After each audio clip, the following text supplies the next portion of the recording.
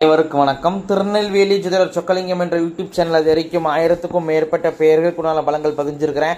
So இந்த சேனலை subscribe பண்ணிட்டு ஹோம் பேஜில் போய் வீடியோஸில் பார்த்து அந்தந்த பேருக்குடையவங்க உங்கள் பேர்களுக்குண்டான பலங்கள் குறிப்பாக அந்த ரக்ஷிதா அப்படிங்கிற பேருடைய உங்கள் குடும்பத்திலேயோ சொந்தக்காரங்களையோ நட்பு வட்டாரத்திலே இருந்தாங்கன்னா அவங்களுக்கும் நம்ம வீடியோ லிங்கை தயவு செஞ்சு ஷேர் பண்ணுங்கள் நிறைய நண்பர்கள் ஜோடித்தி மேல் பற்றுக்கொண்டு நிறைய இடங்களில் ஜோதிடம் படிச்சுமே ஒரு ஜாதகத்தை கையில் கொடுத்தா பலன் சொல்ல திணறக்கூடிய ஜோதிட நண்பர்களுக்கும் ஏற்கனவே ஜோதிட தொழிலாக பார்த்துக்கிட்டு இருக்கிற ஜோதிட நண்பர்களுக்கும் இந்த ஜோதப்பிரியார புத்தகங்கள் மக்கள் மத்தியில் நீங்கள் தைரியமாகவும் துல்லியமாகவும் பலன் சொல்ல உதவும். இந்த ஜோதப்பிரியார புத்தகங்கள் லிஸ்ட்டு பெற இருப்பவங்க ஸ்க்ரீனில் ஸ்க்ரோலாக கூடிய டெலிகிராம் நம்பருக்கு மெசேஜ் பண்ணிங்க அப்படின்னா என்னுடைய புத்தகங்களுடைய லிஸ்டோட விளக்கங்களை தரேன். பார்த்துட்டு தேவையான புத்தகங்கள் வாங்கிக்கலாம் அஸ்ட்ராலஜிக்கல் கன்சல்டேஷன் ஜாதகம் பார்க்க ஜாதகம் எழுத பிறந்த குழந்தைகள் கரிச பேர் சூட்ட திருமண பொருத்தம் துல்லியமாக பார்க்க குலதெய்வம் மரியாதைங்க குலதெய்வம் அறிய அஸ்ட்ரோ நியூமராலஜி அஸ்ட்ரோ நேமாலஜி ஜாதகமே இல்லாதவங்களுக்கு பலன் சொல்ல போன்ற அஸ்ட்ராலஜிக்கல் கன்சல்டேஷனுக்கு தாராளமாக நீங்கள் நினைக்கலாம்? குறைந்த குருதட்சணைகள் தரமான ஆலோசனைகள் வழங்கப்படும்.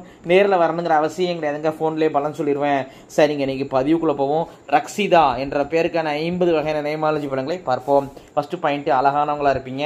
ரெண்டாவது பாயிண்ட் அட்ராக்டிவான தோற்றம் உண்டு. மூணாவது பாயிண்ட் மேக்கப் பிரியராக இருப்பீங்க. நாலாவது பாயிண்ட் ட்ரெஸ்ஸிங்ஸுக்கு முக்கியத்துவம் கொடுப்பீங்க.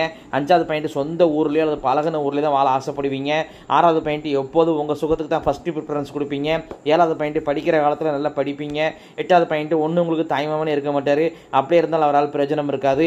ஒன்பதாவது பாயிண்ட் மற்றவங்களை விமர்சனம் செய்யக்கூடிய குணம் உங்கள்கிட்ட உண்டுங்க. பத்தாவது பாயிண்ட் அவசர புத்தி உண்டு. பதினோராவது பாயிண்ட் பிறரை பார்த்து எடை போடக்கூடிய திறமை உண்டுங்க. இவங்க இப்படி தானே எடை போடக்கூடிய திறமை உங்கள்கிட்ட உண்டு. பன்னெண்டாவது பாயிண்ட் இல்ல சுகரத்தில் பாதிப்பு உண்டு. பதிமூணாவது பாயிண்ட் ஜோதிடம் ஆன்மீகத்திலலாம் ஆர்வம் ஈடுபாடு அதிகமாக இருக்கும். பதினாலாவது பாயிண்ட் தனிமை விரும்பியாக இருப்பீங்க அல்லது லோலினஸ் ஃபீலிங் இருக்கும். பதினஞ்சாவது பாயிண்ட் மில்க் ஸ்வீட்ஸ்லாம் ரொம்ப விரும்பி சாப்பிடுவீங்க. பதினாறாவது பாயிண்ட் தாய்மாமா மற்றும் மாமனார் உறவில் விரிசல்கள் உண்டு. பதினேழாவது பாயிண்ட் வாகன யோகம் உண்டு.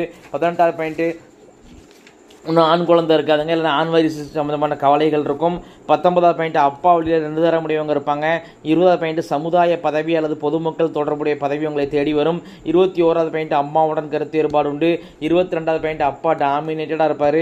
இருபத்தி மூணாவது பாயிண்ட் அப்பா வந்து உங்கள் தாத்தாவுக்குலாம் திருத்திருப்பணமே சரியாக கொடுத்துருக்க மாட்டார். இருபத்தி நாலாவது பாயிண்ட் தைரியசாலியாக இருப்பீங்க. இருபத்தஞ்சாவது பாயிண்ட் கடன் பிரச்சனை உண்டு. இருபத்தி ஆறாவது பாயிண்ட் எவ்வளோ கடன் பட்டாலும் அடைச்சிருவீங்க. இருபத்தி ஏழாவது பாயிண்ட் லைஃப்பில் ஒரு என்னடா வாழ்க்கை எதுன்னு ஒரு தற்கொலை தற்கொலைக்கு முயற்சி செஞ்சுருப்பீங்க.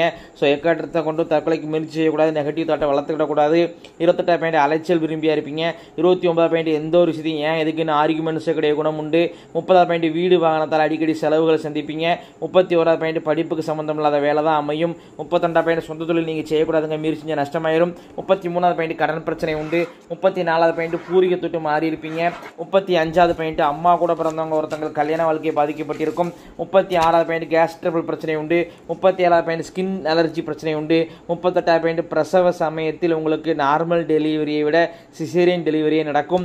முப்பத்தி ஒன்பதாவது பாயிண்ட் அம்மா வழியில் அறுப்பாயில் இறந்து போனவங்க உண்டு. அவங்க நினச்சி நீங்கள் அம்மாவாசை தரும் தயிர் சாதனம் கொடுப்பதற்கு புண்ணியத்தை தரும். நாற்பதாவது பாயிண்ட் தந்திரசாலியாக இருப்பீங்க. நாற்பத்தி ஓராவது பாயிண்ட் எதை யோசிச்சு தான் உடனே முடிவு மாட்டீங்க. நாற்பத்தெண்டாவது பாயிண்ட் கணவர் வந்து எமோஷனல் டைப்பாக இருப்பார். நாற்பத்தி மூணாவது பாயிண்ட் உங்களுக்கு கற்பனை திறன் அதிகம். நாற்பத்தி நாலாவது பாயிண்ட் எந்த ஒரு விஷயத்துலையும் நிலையான முடிவு எடுக்க முடியாது. ஸ்டெடி மைண்ட் இருக்காது. நாற்பத்தஞ்சாவது பாயிண்ட் திருமண வாழ்க்கை திருப்தி இருக்காது. நாற்பத்தாறாம் பையன் சொத்து சேர்க்கைகள் உண்டு. நாற்பத்தி ஏழாவது பையன் சொந்த வீடு யோகம் உண்டு. நாற்பத்தெட்டாவது பையன் இடம் வீடு சொத்தால் லாபத்தை அடைவீங்க. நாற்பத்தொன்பதாவது பையன் மூத்த பிள்ளை நினைச்ச ஒரு மன வருத்தம் உங்கள்கிட்ட இருந்துக்கிட்டே இருக்கும். ஐம்பதாவது பாயிண்ட் உங்களுடைய ஆத்மார்த்தமான தெய்வம் முன் ஜென்மத்தில் நீங்கள் ரொம்ப வேண்டி விரும்பி வெளிப்பட்ட தெய்வம். இந்த ஜென்மத்தை அர்பாலிக்கு நிற்கிது யார் அப்படின்னு கேட்டிங்கன்னா முருகப்பெருமான் தாங்க. இத்துடன் ரக்ஷிதா என்ற பேருக்கான ஐம்பது வகையான நேமாலஜி பலன்கள் முடிவடைகின்றன. இப்போ பெற வச்சு ஐம்பது பலன் சொல்கிறேன் அப்படின்னு நாங்கள் ஜாதகத்தை வச்சு நல்லா அதிகமாகவும் எவ்வளோ துல்லியமாகவும் சொல்லுவேன் அப்படிங்கிறத யோசிச்சு பாருங்க நண்பர்களே. ஸோ ஒரு முறை அஸ்ட்ராலஜிக்கல் கன்சல்டேஷனுக்கு வாங்க. நன்றி நேர்களே நன்றி வணக்கம்.